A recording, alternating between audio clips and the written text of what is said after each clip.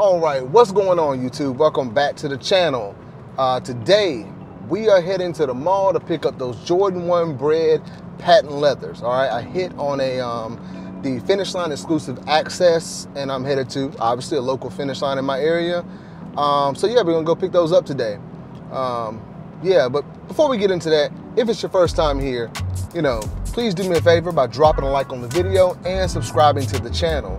And also don't forget to hit that notification bell so you get notified whenever I drop new videos. Now, gotta let you know, I ended up hitting on the, um, the GS pair. So gonna pick those up just to give y'all a look at them on the channel. But from what I hear, material wise and everything, they seem to be pretty much spot on with the men's pair. So, and while we're talking about Finish Line and everything, I just wanna talk about Finish Line's whole release process from the start. Like before they even had reservations on the app, I actually used to hit all the time on different, you know, uh, you know, pickups and whatnot. But as soon as they went to the app reservation, it was L City.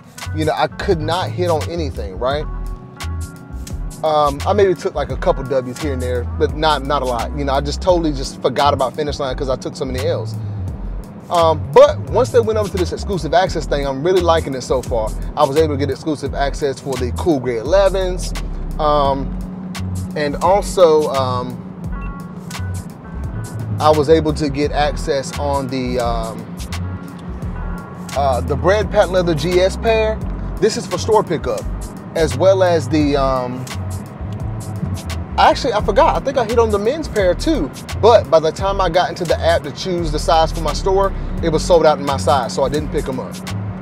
Uh, but luckily, I'm able to get the GS pair so I can give y'all a look at something.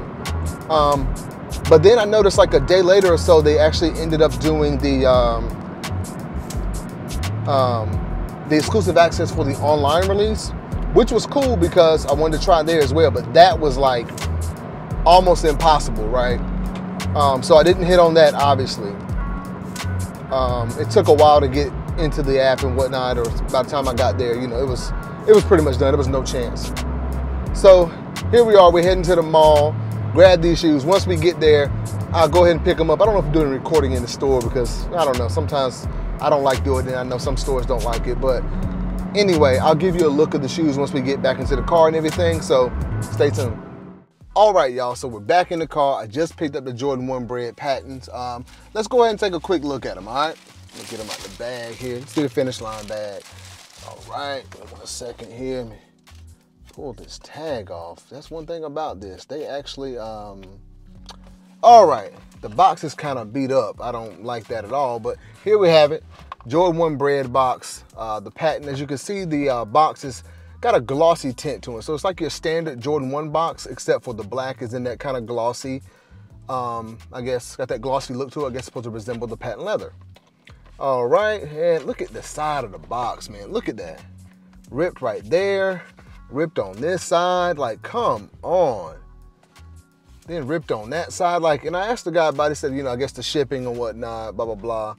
But like I said earlier, this is the GS size six. Um, and there's your size tag information on that side if you're curious. All right. Let's go ahead and open them up. All right. Get this one out. Oh, and it comes with the extra laces. Okay, shoe is in pretty good shape. It's just the box is all beat up. I don't know if I can fix that or not. I mean, it just looks pretty bad. But anyway, here we have it, guys. The Jordan 1 Bred patent. These things are nice. I really wish I could have got, you know, the men's size shoe. Like this shoe is just so clean. Obviously you got that black and red patent leather all over the upper of the shoe. Um, you got your Jordan Wings logo here. And for the most part, like I said, it's a GS size. It looks pretty similar to what I've seen online with the, um, the men's pair.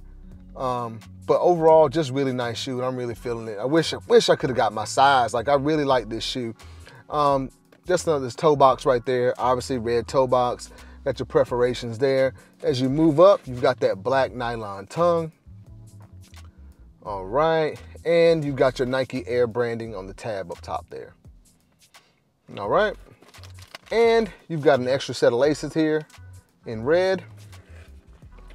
Take a look at the inside real quick here. This is a really, really nice shoe.